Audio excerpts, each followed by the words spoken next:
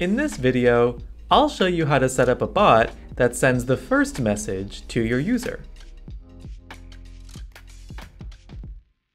The first thing we'll do is create our trigger, which can be accessed over here in the card tray in the events category. For this video, I'll choose the conversation started trigger.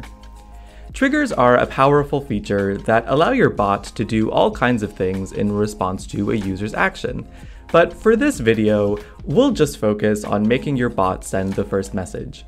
So when we select a trigger, in this case conversation started, what we're doing is telling our bot to do this action as soon as a user starts a conversation. In this case, that means opening the web chat by clicking on the chat icon. Now, in a new node, let's create our welcome message.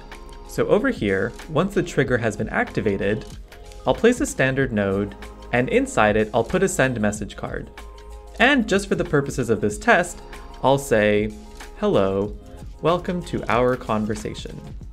Now, with a simple message, I've welcomed our user, but you can use this message to say things like, here are the different ways I can help you, or ask a question. Now, let's put everything together. When your trigger activates, it essentially works like a start node. So what I'll do is I'll take the path leading from my trigger, and I'll send it over here into my welcome message. That means whenever the conversation starts, this is what's going to happen. Now, let's test it out. Don't forget to publish, and for the purpose of this demonstration, I'll show this happening on our shareable widget but this will also work if you have your bot deployed on a website as well. So I'll click this, and right away we see my bot sends the first message. Awesome. Happy bot building!